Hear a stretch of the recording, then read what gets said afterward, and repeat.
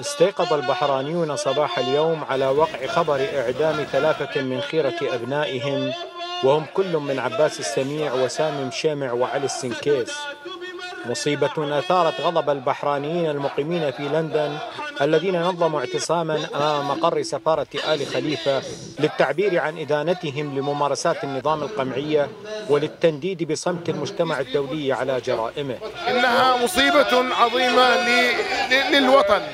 للقيم للأخلاق للأمة. ليست مصيبة فقط لعائلات هؤلاء الشهداء إنها مصيبة لهذا العالم الذي تخلى عن قيمه ولهذه الأمة التي سمحت لهؤلاء الطغاة بأن يجثموا على صدورها طويلا. إنها مصيبة لشعبنا الأبي بشيعته وسنته. النظام الحاكم في البحرين أقدم على ارتكاب هذه الجريمة النكراء إرضاء لأطراف متعددة خارجية وداخلية.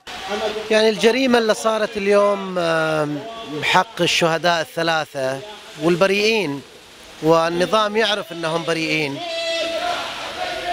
حدثت لاسترضاء شارع مجنون بسفك الدم واسترضاء دول تدعم نظام آل خليفة.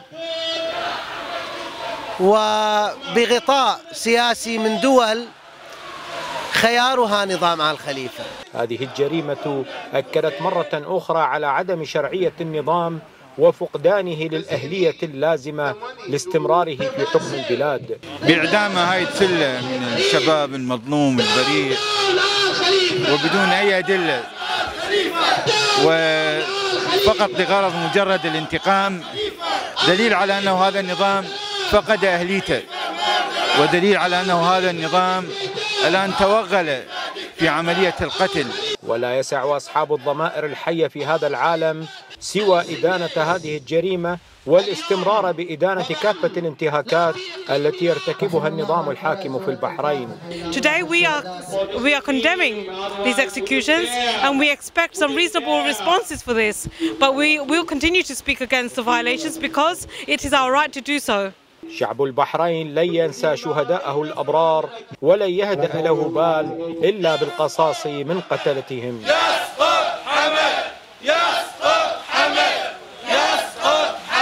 الغضب الذي اعترى البحرانيين إثر جريمة إعدام ثلاثة من شبانهم.